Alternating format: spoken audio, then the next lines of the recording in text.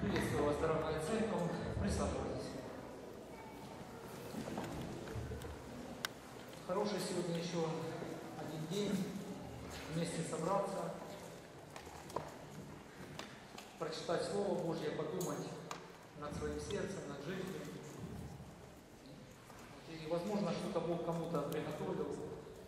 И когда Леша сказал, что буду проповедовать, я вот как-то, наверное, на протяжении недели размышлял над темой. Э, Тема «Семья». Э, Ну, на самом деле это сегодня очень важная тема. И у самого очень много друзей, товарищей тоже, которые когда-то вступали в брак, вот, прожили какое-то время, потом разводились, и христианские семьи, и нехристианские. И задаешь, и задаешь вопрос, почему? Вот вопрос, почему сегодня браки христианские, они разрушаются? Почему сегодня, или на то время, да, люди, они любили один, друг, один другого, а потом они разошлись? Задаешь вопрос, почему?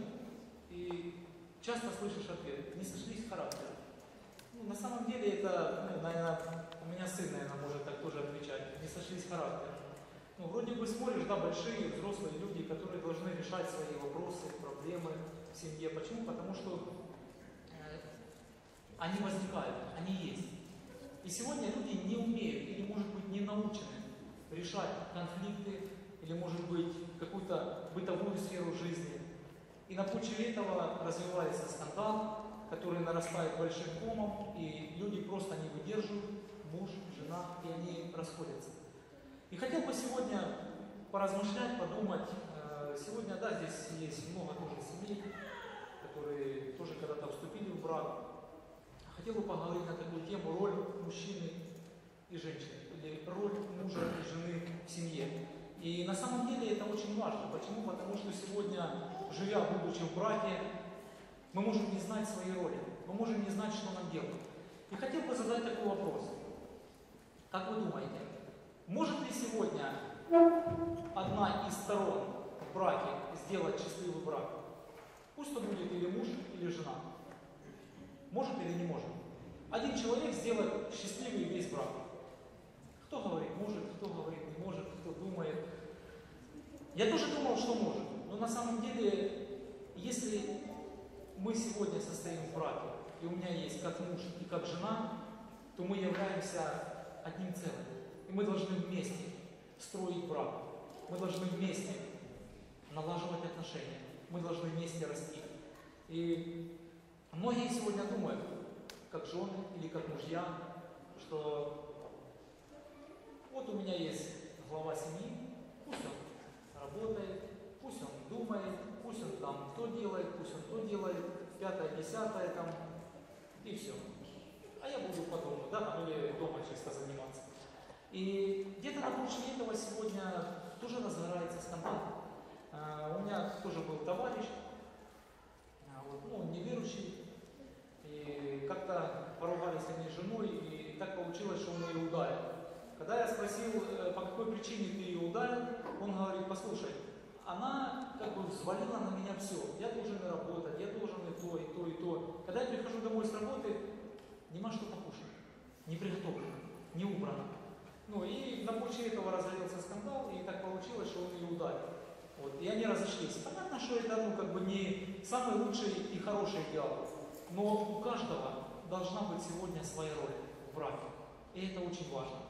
Давайте вместе с вами откроем э, Ефесянам 5 глава, и мы посмотрим роль, роль мужчины или роль мужа по отношению к жене. Я не хочу сегодня там брать какой-то масштаб, э, почему? Потому что много времени нету. Хотел бы сегодня пару посмотреть ролей мужчины и пару ролей э, жены. И все. И хотелось бы, чтобы мы как бы это применяли, где-то воплощали э, в жизнь. Потому что это очень важно. Проходит время, или когда-то вот э, мы уже женаты 6 лет. И знаете, какая может быть проблема? Мы когда женились, да, вот все время нас благословили, сочетали, вот, э, любовь горела там пламенем, все было хорошо. Проходит какое-то время, там, да, любовь где-то она утихает, она где-то замирает, она где-то остается. И всему этому тоже есть причина. Поэтому хотелось бы сегодня посмотреть, чтобы мы каждый сегодня, а у кого есть сегодня муж, жена, может быть, кто сегодня собирается вступить в брак, это тоже хорошая тема для размышления. Потому что теорию мы можем знать, а практика, она совсем показывает ну, другую жизнь. На теории сегодня многие могут делать все, что хочешь, а когда практика, то это намного тяжелее. Но теория помогает в практике. Ефесянам 5 глава, 25 глава, э, то есть э, 5 глава с 25 стиха. Мужья, любите своих жен, как и Христос возлюбил церковь и предал, и предал себя за нее. То есть мы видим, муж, где-то Павел да сопоставляет, он отображает кого? Иисуса Христа на земле. Да, где-то подобие. Как и Христос возлюбил церковь. Как должен возлюбить муж свою жену? Как Христос возлюбил церковь. Это очень важно. Знаете, иногда, вот я вот повторюсь еще раз, проходит время, и у нас где-то эта любовь где-то охладевает, где-то остывает, где-то мы ее можем оставлять и жить, просто жить как по накату. Поэтому очень хороший момент, мужья, любите. Есть четыре вида любви, может быть вы знаете.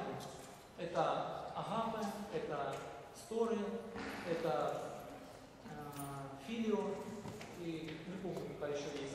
То есть э, четыре вида любви. Э, одна из видов любви это любовь на взаимовыгоду. Я буду тебя любить, но у меня есть мир. По какой-то причине. Я буду тебя любить. Может быть, если ты будешь мне каждый день делать подарок, да, там, или каждый день покупать хорошую одежду, там, или может быть еще что-то. То есть тогда я буду тебя любить. Есть такая сегодня любовь. Есть любовь, это просто влюбленность. Вот я просто влюбился и все. И мне большего ничего не нужно.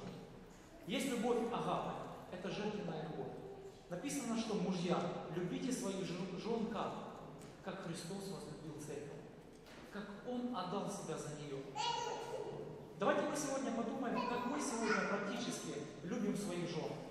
Как мы сегодня практически отдаемся. Всецелостно, как отдался Христос. Как-то тоже жена, помню, у нас домашняя группа была, и муж не пришел, жена пришла. И, в общем, ну и началось вот, обсуждение, там, роль жены, роль мужа. И жена не, не выдержала и начала, в общем, говорить, вот муж вот так, вот так, не хочет ничего делать, не хочет ничего мне помогать, там, то все. Ну, и я как-то, вот, сидят много людей, там, члены церкви сидят тоже, и молодые, которые только вступили в брак. Ну, я ей задаю вопрос, э, послушай, сестра, я думаю, что не обязательно сегодня выносить о своем муже, да, там, какой он хороший, там, какой он плохой, ну, или какой он плохой, да, вот, среди всех. Я думаю, лучше подойти к служителю, или взять его и обсудить, и поговорить эти все вопросы. Конечно, много обид было тогда, и, и так далее, и так далее. Поэтому, знаете, бывают жены не получают да, вот, от того, чего не хотят от мужа, или того, чего не желают. Как Христос отдал себя за церковь, целостно, полностью. Давайте мы подумаем сегодня, практически в своих семьях, как мы сегодня любим свою жену. Как мы сегодня практически хотим, чтобы она была счастливая. Как мы сегодня практически хотим, чтобы у меня в семье был порядок, устройство. Это роль мужчины. Любить свою жену. Не любить больше Facebook, может быть, там, или пришел с работы, как-то тоже одна свидетельствует, она говорит, прихожу, а или муж приходит с работы, думаю, сейчас вот, быстрее там жене, детям. Она говорит, прохожу в комнате, говорит, ну, муж вроде дома, а вижу только одну спину. Он все за компьютером там сидит, то Facebook, там, то еще что-то. Поэтому это и есть проблема. Когда мы, знаете, самого любимого человека, или того человека, которого Господь подарил мне или дал мне, мы где-то оставляем, но больше берем где-то больше важные вещи. Поэтому мы видим, Бог хочет нас предупредить, ободрить, как мужей. Как может быть тех, которые сегодня хотят вступить в брак. Будьте кто, что любовь она должна быть жертвой. И, знаете, иногда бывает где-то нужно жертвовать для того, чтобы, может быть, остаться женой дома, где-то, может быть, чем-то пожертвовать ради своей любимой. И подумайте, как это практически сегодня происходит у меня в жизни. Написано, что любите свою жену как? Как свои тела. Как мы любим свои тела? Ну, утречком встали, причесочку, да, там души, зубки почистили, тельце напитали хорошо, одели, да, любим хорошо одеты, да, чтобы были не грязные, опрятные, все. Поэтому Бог хочет сказать, послушайте, вот так вот любите своих жен. Вот такое имейте к ним отношение. Как Христос сегодня имеет отношение к церкви? Он возлюбил нас, Он любит нас. Даже если мы ошибаемся, даже если мы согрешаем, даже если мы где-то оступаемся, мы видим, какая его любовь. Он прощает, он милует, он забывает. Поэтому подумайте, какое мое отношение сегодня к жене. Это очень важно. И знаете, сегодня мало сегодня в церквях услышишь э, проповеди на семейную тему. Очень мало. Но зато сегодня очень много разводов. Сегодня очень много бросают семьи, бросают детей и живут так, как им хочется, так, как им нравится. Второе. Второе немаловажная вещь. Знай, как муж, может быть, какие-то проблемы или, может быть, какие-то недостатки своей жены. Они есть всегда. И когда они есть, и ты как муж, ты не знаешь об этом, всегда есть тот, который хочет подойти и исказить это все. Всегда есть тот, который хочет увести от Бога. И этому, например, а, Ева. Давайте вспомним. Да, очень хорошая история, которая показывает о том, что у Евы были какие-то проблемы. Глаза увидела, да, очень думает, надо попробовать, как оно. Знаете, и это не секрет, что каждая жена или каждый муж имеет какие-то недостатки. Поэтому очень важно сегодня, чтобы муж знал, какие же сегодня есть практические шаги, которые возможно помочь жене вырасти в каких-то вещах. И молиться за них. Да, вместе как-то проходить, вместе как-то преодолевать эти вещи. Написано, что Иех, 3 глава, «Змей был хитрее всех зверей полевых, которых создал Господь Бог. И сказал змей жене, подлинно ли Бог сказал, то есть правда ли Бог сказал? Не ешьте ни от такого дерева в раю. И сказала жена змею, плоды деревьев мы можем есть, только плодов дерева, которые среди рая, сказал Бог, не ешьте их и не прикасайтесь к ним, чтобы вам не умереть. И сказал змей жене, нет, не умрете, но знает Бог, в день, в который вкусите их, откроются глаза ваши, и вы будете как боги, знающие добро и зло. И тут, и тут практически, да, вот шаги грехопадения пошли, шестой стих. И увидела жена, что дерево хорошо для пищи. То есть, другими словами, что сделал змей? Положил ей брехню в уши. Что сделала жена? Она увидела, что вроде бы, послушай, хорошо это. И что оно приятно для глаз. Мы видим, какую, какой эффект имеют глаза. Приятно для глаз. Можно, значит, что-то делать. Потому что дает знание. И взяла плодов и ела, и дала также мужу своему, и он ел.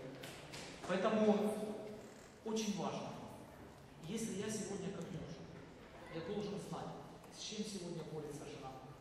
Как-то тоже один э, брат свидетельствовал и говорил, что сколько мы уже много лет живем в браке, но я так до конца не знаю, с какими трудностями сегодня борется моя жена. Как она их преодолевает, или как их можно преодолеть. И в этом есть тоже опасность. Поэтому подумайте, может быть, придите домой сегодня, поговорите. Это хороший момент где-то сблизиться, узнать друг друга. У нас когда, мы когда были в Украине, вот, разгорался, да, вот какой-то там какая-то ссора, вот, не помню честно из-за чего, и как-то начали там словами перекидываться. Вот. Ну, говорю как есть, почему? Потому что мы люди. И это практически, наверное, ну, есть у всех. Не поверю, чтобы каждый человек сказал, что нет, у меня нет. Да, у меня, когда мы женились на протяжении двух-трех месяцев, все было спокойно. Вот. Но потом, да, как говорится, встречаются или сходятся два эгоиста и начинают формировать свой характер. И как-то вот, Господь тогда, вот, когда у нас женой тогда возник конфликт, и Господь как-то вот вложил, э, не знаю, в сердце. Говорит, вот, ну, послушай, ну какой смысл, что ты, ну там, я там или жена сегодня, вы ругаетесь? К чему это все приведет? Научитесь просто, научитесь прощать друг друга, научитесь, может быть, становиться ниже друг перед другом. И тогда ссор или конфликт прекратится. И мы как-то сели с женой и поговорили, вот, и тогда Бог нас научил. Если мы только видим, что где-то что-то начинается, какой-то конфликт, мы стараемся друг другу уступать. И это хорошо, это полезно, когда мы разговариваем вместе с женой. Не тогда, когда мы там поругались, по комнатам закрылись, сидим в комнатах, ждем. Муж лежит и думает, ну жена виновата, сто процентов. Вот когда она подойдет уже и извинится. А жена думает, нет, муж виноват, сто процентов. Когда же он подойдет и извинится? Когда мы вместе не научимся прощать друг друга, когда мы вместе не научимся решать конфликты.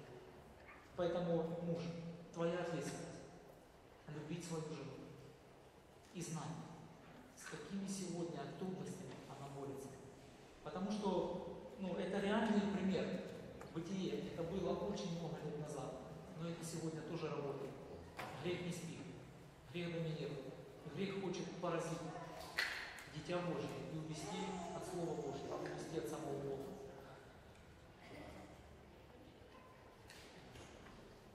А, кстати, да, еще есть, я уже как-то говорил об этом, Бытие 3 глава, с 10 по 12 стих. А, в конфликтах очень часто, знаете, что получается? А, метод тыка. Помните, как Адам и Ева, что делали? 10 стих 3 главы Бытия. Он сказал, голос твой я услышал в раю и убоялся, потому что я нах скрылся. И сказал, кто сказал тебе, что ты нах? Не ел ли ты от дерева, с которого я запретил тебе есть? Адам сказал, жена, которую ты мне дал. Она дала мне дерево, и я ел.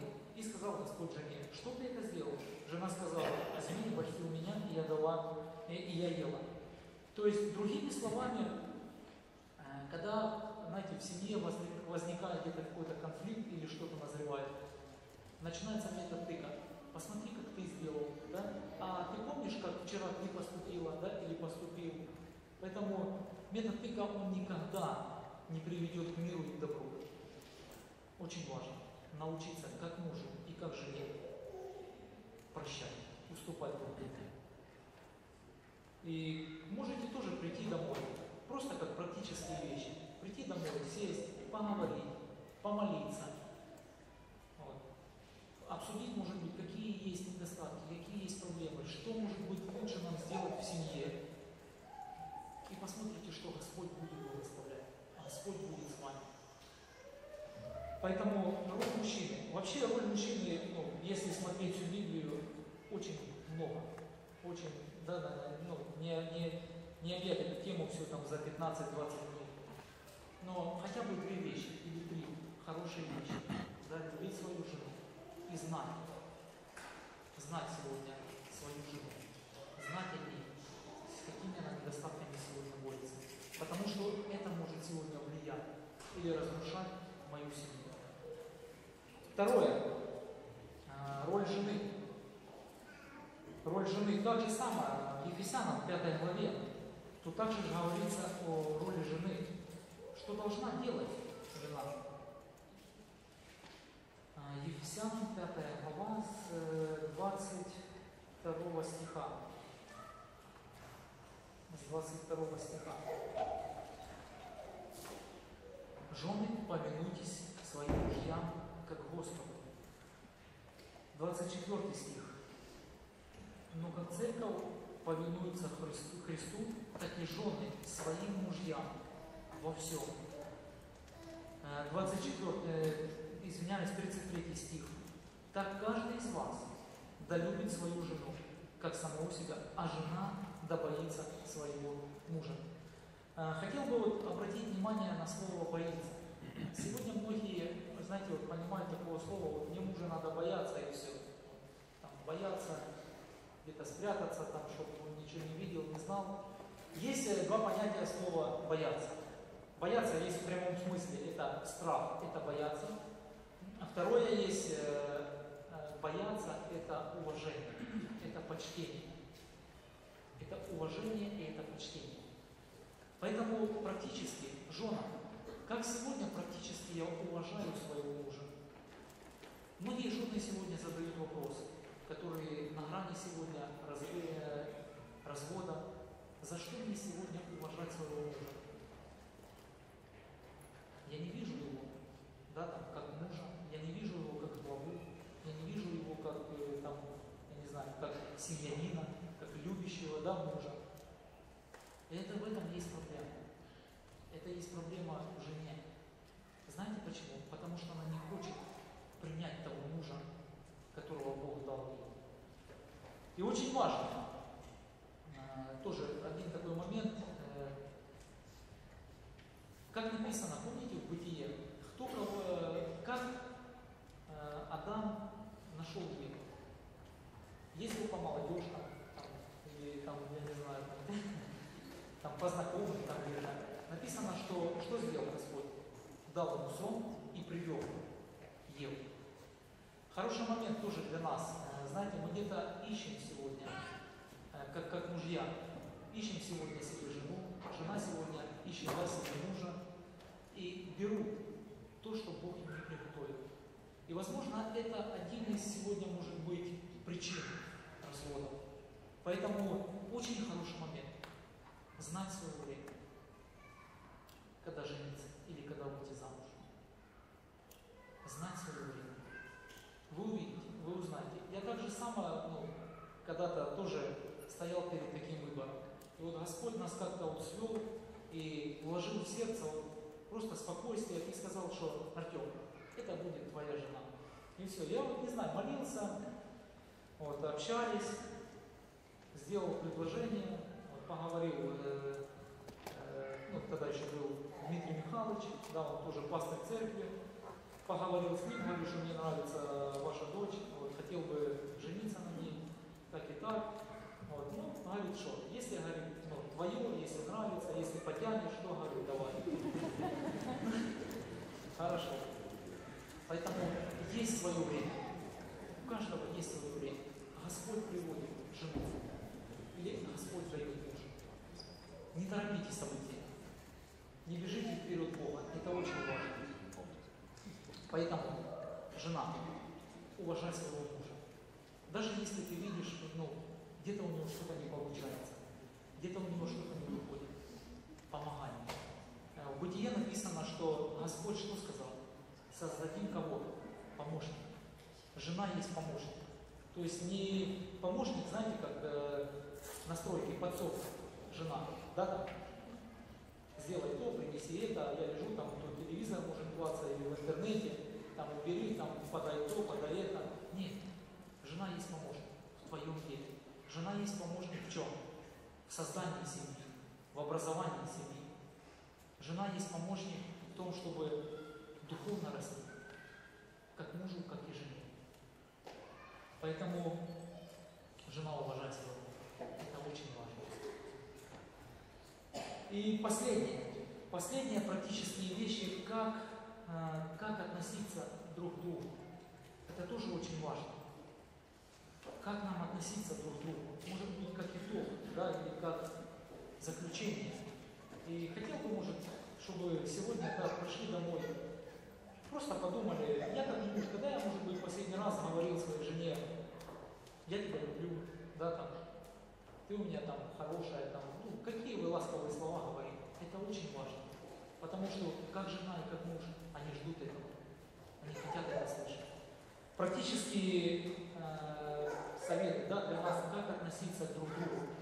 1 Петра, 3 глава, с 8 по 9 стих.